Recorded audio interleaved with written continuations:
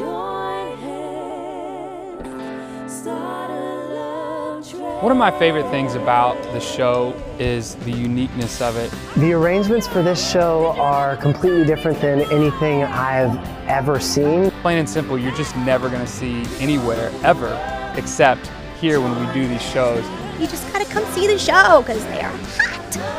You can only find it in one spot. That's right here, Hard Rock Hotels Casino Punta Cana. Now I really